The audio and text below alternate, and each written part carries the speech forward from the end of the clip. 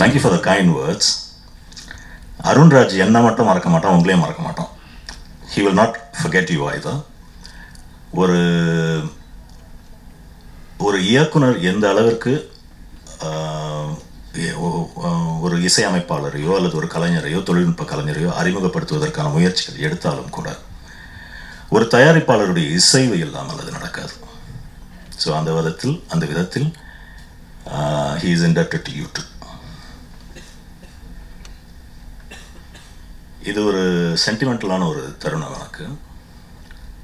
இது ஒரு நீண்ட ஜேர்னி இது ஒரு நீண்ட பயணம். தடையற தாக்க இந்த வெனியூவில் தான் இந்த இடத்துல தான் இசை வெளியீட்டு நடந்தது. அருண் விஜயோடு நான் மறுபடியும் சேர்ந்து பணியாற்றக்கூடிய ஒரு ஒரு வாய்ப்பு இந்த படத்தில் எனக்கு அமைந்திருக்கிறது. ஒரு இயக்குனருடைய மெல்லிய வழிகாட்டுதல் கிடைத்தால் இந்த தலைமுறையின் மிகச்சிறந்த நடிகர்களில் அருண் விஜயும் ஒருவர் என்பது சந்தேகமே. பன்முகத்திறமை வாய்ந்த ஒரு நடிகர். ஏன்னா அவருடைய பயணம் என்பது உங்கள் கண்முன் நடந்தது. Is been around for so many years is gone through a lot is never lost hope தன்னுடைய உடலையும் தன்னுடைய மனத்திடத்தையும் அவர் கட்டி காத்தே வந்திருக்கிறார். இஸ் அ டைரக்டர்ஸ் டிலைட் என் மீது அதீத நம்பிக்கையுடைய ஒரு கலைஞர். நான் என்ன சொன்னாலும் எத்தனை டேக் கேட்டாலும் சளைக்காமல் உழைக்கக்கூடியவர். அது என் மீது அவர் வைத்திருக்கக்கூடிய நம்பிக்கை. ஏன்னா அந்த நம்பிக்கையை இந்த படத்தில் என் தொழில்நுட்ப கலைஞர்களின் துணையோடு நான் நிறைவேற்றி இருக்கிறேன் என்றே கருதுகிறேன்.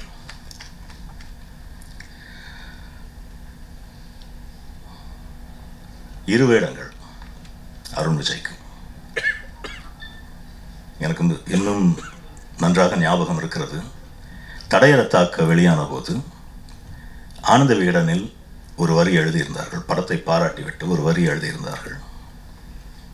அருண் விஜய் உங்களுடைய இன்னிங்ஸ் இப்பொழுதுதான் துவங்குகிறது என்று.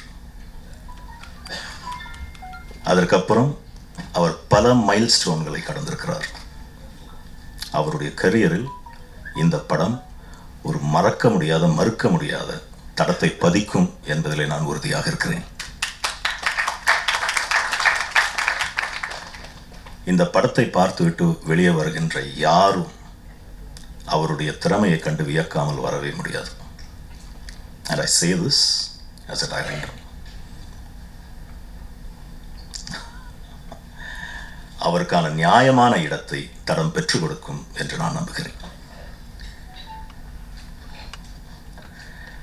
மீகாமன் படத்தினுடைய ஸ்கிரிப்டிங் ஒர்க் நடந்து கொண்டிருந்த பொழுது ஒரு செய்தி என் கண்ணில் தட்டுப்பட்டது. அந்த செய்தியை படித்தபோது எனக்கு மிகவும் ஆச்சரியமாகவும் வியப்பாகவும் இருந்தது. கொஞ்ச நேரம் என்னால் நம்ப முடியவில்லை. சொல்கிறார்கள் அல்லவா? Truth is stranger than fiction என்று. அந்த மாதிரியான ஒரு விஷயம் அது. இப்படியெல்லாம் நடக்குமா அப்படின்னு நினச்சி நான் அதை பற்றி மேலும் படிக்க துவங்கிய போது அவ்வளோ விஷயங்கள் அதனுள்ள பதிஞ்சிருந்தது. ஒரு ஸ்கிரிப்டுக்கான அழகிய ஒரு தளமாக இது இருக்கும் என்று எனக்கு தோன்றியது. அதுக்கப்புறம் மீகாமன் பணியில் நான் மும்முரம் ஆயிட்டேன் இருந்தாலும் இந்த இந்த இந்த விஷயம் என்னுடைய என்னுடைய மனசில் உறுத்தி கொண்டே இருந்தது. இது ஒரு ஆக்ஷன் த்ரில்லர் இன்வெஸ்டிகேட்டிவ் த்ரில்லர் ஒரு விதத்தில் இது ஒரு லீகல் த்ரில்லர் என்று கூட சொல்லலாம்.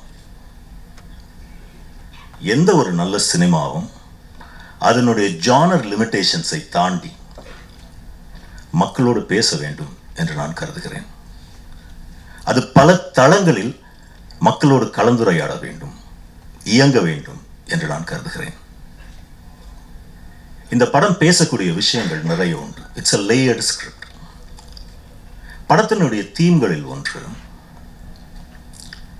Every one of us carries our parents with us நம்முடைய அப்பாவும் அம்மாவும் ஏதோ ஒரு விதத்தில் நம்முடனேயே இருக்கிறார்கள். நாம் அவர்களை சுமந்து கொண்டிருக்கிறோம். நாம் இருக்கின்ற வரை அவர்களும் இருப்பார்கள். இந்த விஷயத்தை இந்த படம் பேசுகிறது. காதலை பற்றி பேசுகிறது.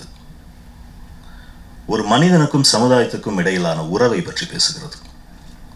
ஒரு மனிதனுக்கும் சட்டத்திற்கும் இடையிலான உறவை பற்றி பேசுகிறது. ஒரு மனிதனுள் இருக்கக்கூடிய இன்னர் டீமன்ஸ் அவனுடைய அகபூதங்கள் அதற்கும் ஒரு இண்டிவிஜுவலுக்கும் இடையே இருக்கக்கூடிய உறவு சிக்கலை பேசுகிறது.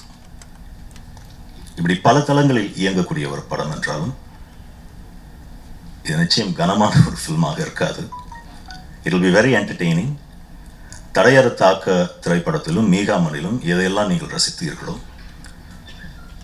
அந்த அந்த விறுவிறுப்பு தன்மையும் அந்த சுவாரஸ்யமும் நிறைந்த ஒரு படமாக இது இருக்கும். அந்த உறுதியை உங்களுக்கு அளிக்கிறேன். It is a film that has a of of Gopinath sir என்னை தன்னுடைய இளைய சகோதரனாகவே பாவித்து பழகின ஒரு அற்புதமான மனிதர். It was a pleasant experience working with him பல வெற்றி படங்களை ஒளிப்பதிவு செய்த ஒரு கலைஞர். இந்த படம் அவருக்கு தமிழ் திரையுலகில் ஒரு ரீஎன்ட்ரி என்கிற விதத்தில் தனிப்பட்ட முறையில் எனக்கு மிகவும் சந்தோஷம் மிகவும் மகிழ்ச்சி. இன்றைக்கு இருக்கக்கூடிய ஒளிப்பதிவாளர்களுக்கும் ஒரு சவாலாக எல்லோரும் திரும்பி பார்க்கக்கூடிய விதத்தில் அவருடைய பங்களிப்பு அமைந்திருக்கிறது. விழாவின் நாயகன் அருண்ராஜ்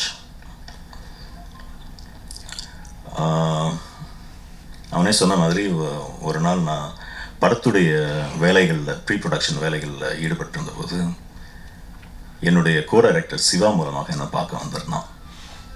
விட உள்ளியா? உங்களை ரொம்ப நாளாக பார்க்கணுன்னு ஆசைப்பட்டிருந்தேன்னா I'd like you to listen to my songs என்று சொன்னான். குறித்து வைத்துக் கொள்ளுங்கள். தமிழ் சினிமா மட்டுமல்ல இந்திய சினிமாவை கொண்டாடக்கூடிய ஒரு இசையமைப்பாளனாக அவன் உருவெடுப்பான்.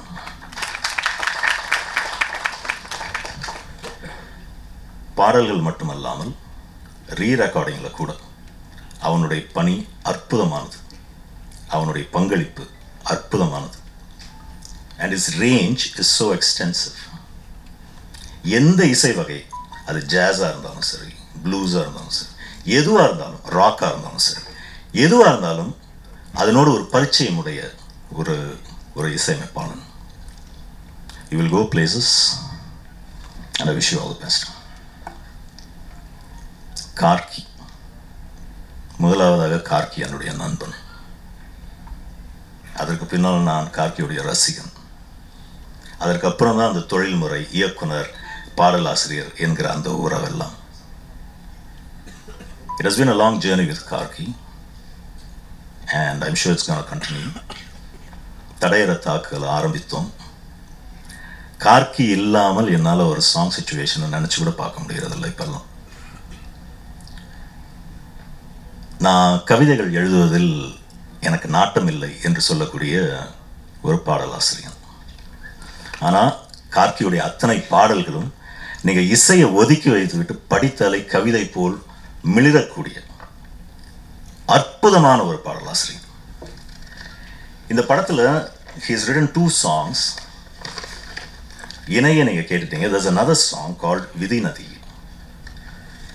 படத்தினுடைய ஹைலைட்டாக இருக்கக்கூடிய ஒரு சாங் அது.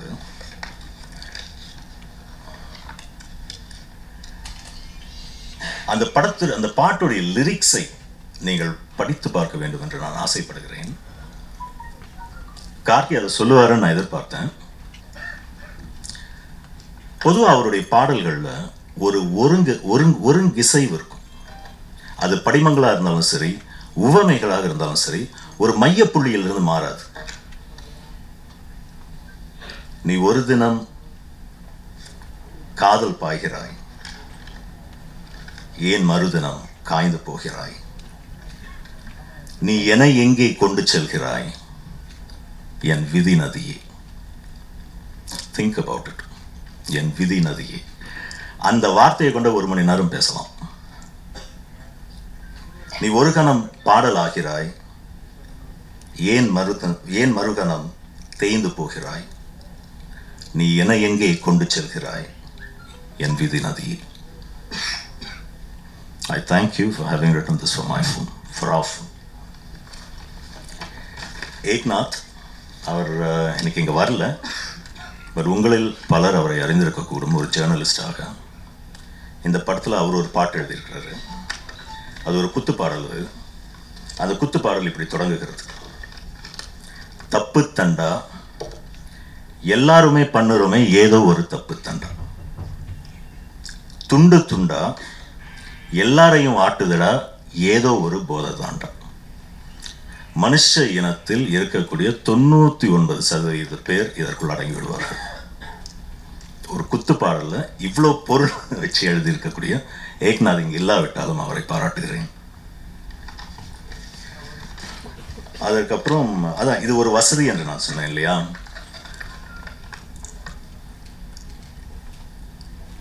தொழில்நுட்ப கலைஞர்கள் பற்றி பேசுவதற்கான ஒரு ஒரு வாய்ப்பாக இது எனக்கு அமைந்திருக்கிறது. ஸ்ரீகாந்த் என்னுடைய நண்பன். நான் ஸ்கிரிப்ட் எழுதும்போதே ஸ்ரீகாந்துடைய எடிட் பேட்டர்னை மனசில் வச்சு தான் இந்த ஸ்கிரிப்டை எழுதினேன். என்னுடைய படங்களின் அடையாளம் என்னுடைய படங்களை செழுமைப்படுத்தக்கூடிய நான் என்றும் சார்ந்திருக்கக்கூடிய என்னுடைய இனிய நண்பன். ஸ்டன் சில்வா மாஸ்டர் நூறு படங்களுக்கு மேல் பணியாற்றி இருந்தாலும் முதல் படத்தை முதல் படத்தில் பணியாற்றுவதை போன்ற அடக்கத்தோடு வந்து எங்கள் அனைவரோடும் பழகி பணியாற்றிய தினேஷ் மாஸ்டர். தடம் என்கிற அந்த லோகோவை படத்துடைய ஆன்மாவை படத்துடைய ஸ்பிரிட்டை மிக அற்புதமாக வெளிப்படுத்தி இருக்கக்கூடிய அந்த லோகோவை கொடுத்த சசி உதயகுமார் அஜய் ரமேஷ் சுரேன் அழகிய கூத்தன். தங்களுடைய படத்தை போல் இந்த படத்திற்கு இரவு பகல் பார்க்காமல் பணியாற்றிய வெங்கட் லோகேஷ் சிஜி பிரிவை சார்ந்தவர்கள். கோதண்டம் விக்கி டப்பிங் என்ஜினியர்ஸ் தன்னுடைய பணிகளையும் தாண்டி ஒரு உதவி இயக்குநரை போல் பணியாற்றிய casting director Shruti dubbing artists Uma Priya Aishwarya என்னுடைய கோ டைரக்டர்ஸ் சிவா தேவன் அப்புறம் திவ்யா பெருமாள் சுஷ்மிதா மனோ ஆஷிஷ் அண்ட் சபரிஷ் எனக்கு கிரியேட்டிவ் ஒர்க்கை தவிர வேறு எந்த நினைப்புகளையும் என் மனம் திசை மாறி விடாதபடிக்கு லாஜிஸ்டிக்ஸ் முழுவதையும் கவனித்துக் கொள்ளக்கூடிய என்னுடைய அந்த டீம் இவர்கள் எல்லோருக்கும் என்னுடைய பாராட்டுக்களை தெரிவித்துக் கொள்கிறேன். இந்த படம் செழுமைப்பட்டிருக்கிறது என்றால் இதற்கு இவர்கள் அனைவருமே காரணம் குற்றம் குறைகள் என்னுடையவை. And then my actors Yogi Babu is not here is not present இருந்தாலும் இன்றைக்கு யோகி பாபு இல்லாத படமே இல்லை என்று சொல்லலாம். அவர் தட்டையாக ஒரு காமெடி ஆக்டராக மட்டும் நாம் பார்த்து கொண்டிருக்கிறோம். Is a wonderful character artist and is basically an assistant director and script writer Sonia Agarwal Sonia அகர்வாலுடைய character இந்த படத்தினுடைய அச்சாணிகளில் ஒன்று. அந்த கேரக்டர் இல்லைன்னா படமே இல்லை. ஒரு சவாலான கேரக்டர் எத்தனை டேக் போனாலும் பொறுமையாக நடித்து கொடுத்து அவருக்கும் என்னுடைய பாராட்டுக்கள். And then all three girls yeah okay. ரொம்ப ஈஸியாக நடிச்சிட்டேன்னு சொன்னாங்க ஸ்மிருதி. அவங்கள வெக்கப்பட வைக்கிறதுக்கு நாகப்பட்ட கஷ்டம் எங்களுக்கு தான் தெரியும். வெக்கம் என்கிற அந்த ஒரு விஷயம். ஆஃப் கேமரா நிறையா வந்தது. கேமராவுக்கு முன்னாடி வரவே இல்லை. என் ஜானியா ஒரு பொண்ணை போல நடக்க வைக்கிறது தான் எங்களுக்கு ரொம்ப கஷ்டமாக இருந்தது. D D follow me I wish you all well you Vidya Pradeep And Vidya uh she's done job ஊடகமும் சரி மக்களும் சரி இந்த மூன்று பெண்களையும் இந்த மூன்று கலைஞர்களையும் கொண்டாடுவார்கள் என்று நான் நம்புகிறேன். ஒரு படத்துடைய வெற்றியை தீர்மானிக்கின்றது. ஆடியன்ஸுடைய கையில் இருக்கின்றது. ஒரு படம் நல்ல படமா நல்ல படம் இல்லையா என்பதை தீர்மானிக்கின்றது. காலத்தின் கையில் இருக்கிறது. அந்த விதத்தில் தடம் ஒரு நல்ல படமாகவும் ஆடியன்ஸை நிறைவு செய்யக்கூடிய ஒரு படமாகவும் இருக்கும் என்று நான் மெய்யாலுமே நம்புகிறேன். ஃபெப்சி விஜயன் மாஸ்டருக்கும் என்னுடைய பாராட்டுக்கள். Is done a very nuanced character so I thank you all thank you for your patience எந்த ஒரு நல்ல படத்தையும் தமிழ் ஊடகம் பாராட்டாமல் கண்டுகொள்ளாமல் விட்டதே இல்லை. வி சீக் யூர் சப்போர்ட் வாய்ப்பளித்தமைக்கு நன்றி வணக்கம்.